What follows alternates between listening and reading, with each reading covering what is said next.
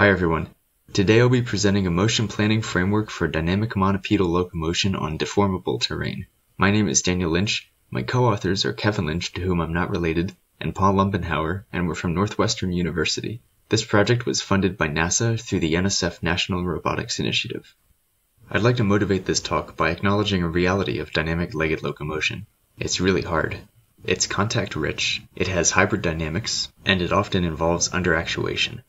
When the terrain underfoot can yield, as is the case with soil, sand, or snow, achieving dynamic legged locomotion becomes even harder. Of course, animals seem to have this figured out on a variety of terrain and for a variety of sizes.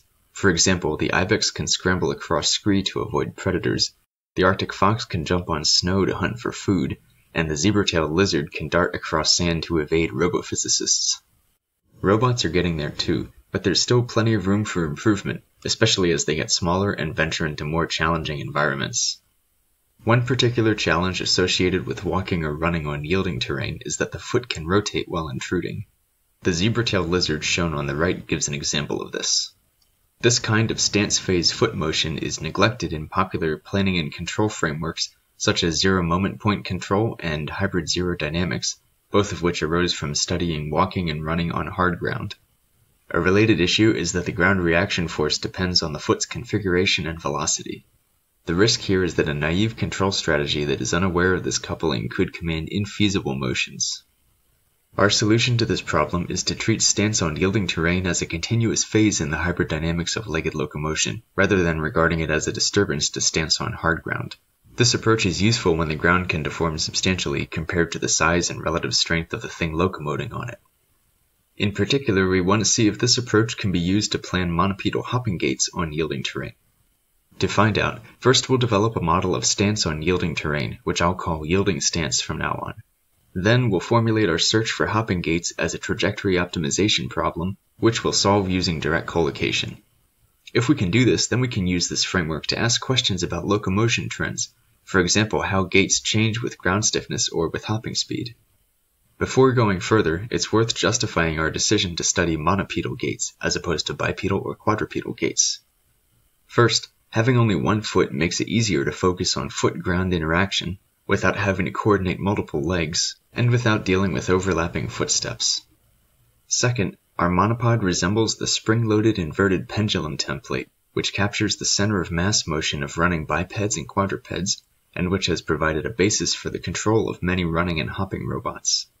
In fact, as we'll see soon, one of the exciting things about our framework is that it generates slip-like gaits, even though we make no assumption that this is necessarily the right way to hop on yielding ground. We're going to model yielding stance from the ground up, starting with foot-ground interaction. To do this, we'll turn to resistive force theory. RFT has been used in fluid mechanics for several decades, but recently it has also been used to model interactions between rigid bodies and granular media such as sand, soil, or snow. One recent example is from Li et al., who used RFT to predict the ground reaction forces arising from prescribed motor speeds applied to a small hexapod with C-shaped legs. Another example is from Xiong et al., who used RFT to avoid simultaneous foot rotation and intrusion for bipeds walking quasi-statically on granular media.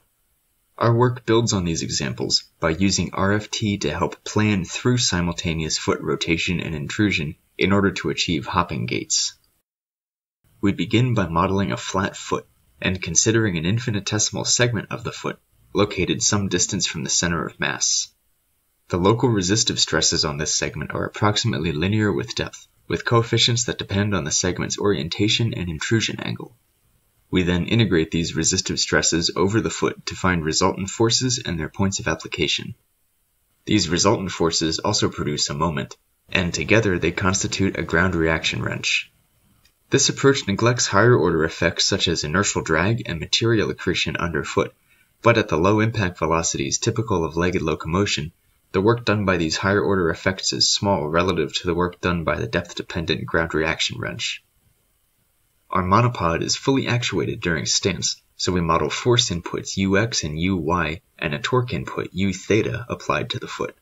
We then simply place the robot's body on the other end of this actuator and enforce an upper limit on the distance between the body and the foot, which we call the stroke limit. A benefit of this simple model is that it is agnostic with respect to leg design. The leg connecting the body to the foot could be anthropomorphic, with hip, knee, and ankle joints, or it could be a parallel mechanism. The point is, these details don't matter as far as foot-ground interaction is concerned, and that's what this simple model allows us to focus on. After modeling yielding stance for our monopod, we turn to the motion planning problem of finding hopping gaits, which is represented by a set of periodicity constraints. In a hopping gait, the configuration and velocity of the body and foot must match at touchdown when the foot first contacts the ground. Sometime later, the monopod must transition from yielding stance to flight in an event called liftoff. We assume liftoff happens when the body hits the stroke limit while traveling upward. We have to allow some horizontal displacement, otherwise the monopod would be hopping in place. However, rather than directly constraining horizontal displacement, we instead enforce a constraint on the forward hopping speed. Thus, we have a two-phase motion planning problem with boundary constraints. This problem could have multiple solutions, so we pick the one that minimizes the time integral of control effort squared. Minimizing effort is reasonable for biological locomotors since it relates to minimizing muscular exertion. It's also relevant to robots. For example, it could relate to minimizing motor current and therefore heat dissipation. Also, this cost function is convex, and this comes in handy when we eventually solve this problem numerically because it aids convergence.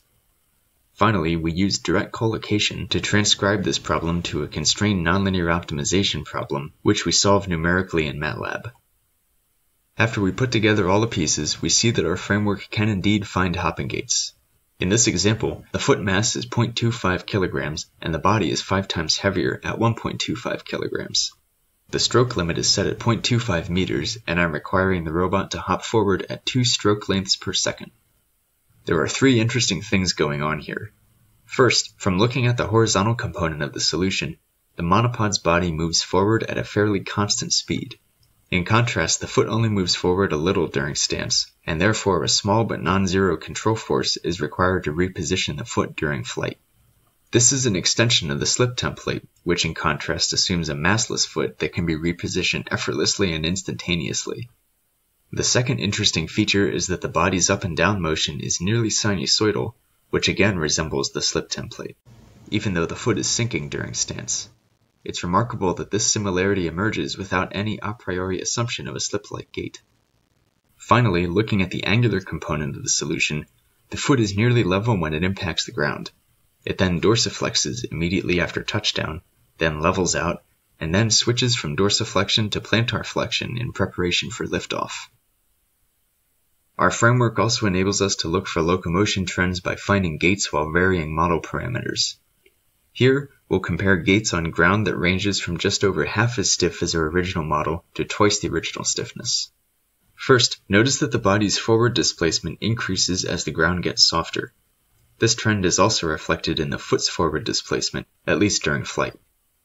This suggests that on softer ground, longer strides might be necessary to hop forward at the same speed, possibly because the monopod spends more time in stance on softer ground. Second, notice that the body moves up and down sinusoidally, although the amplitude of this motion decreases as the ground hardens. Relating this trend to the slip template, this suggests that leg stiffness and ground stiffness are positively correlated. This agrees with trends we saw recently when trying to land a monopod softly on soft ground. Our framework also allows us to compare gaits found for hopping at different speeds on the same ground. Looking at the horizontal aspect of the gaits, we see something both reassuring but also interesting. The body and foot displace farther forward as the commanded hopping speed increases. This suggests that it's preferable to take bigger strides in order to run faster on yielding terrain, rather than taking more small strides. Again, this could relate to spending less time in yielding stance. To recap, we treated yielding stance as a phase of the hybrid dynamics of legged locomotion, and we modeled it with RFT. This modeling approach allowed us to find hopping gaits on yielding terrain for a range of ground stiffnesses and hopping speeds. We found that slip-like gaits emerge naturally, and these gaits exhibit interesting trends as ground stiffness and hopping speed vary. One downside to direct collocation is that it produces fairly high-dimensional optimization problems, so it's difficult to draw quantitative conclusions about scaling and bifurcations. To address this, we plan to adjust our framework to use a lower dimensional representation of the trajectory and controls. This will allow us to perform more thorough scaling and bifurcation analyses for a variety of parameters. With that, thank you for your time. I'm happy to answer any questions.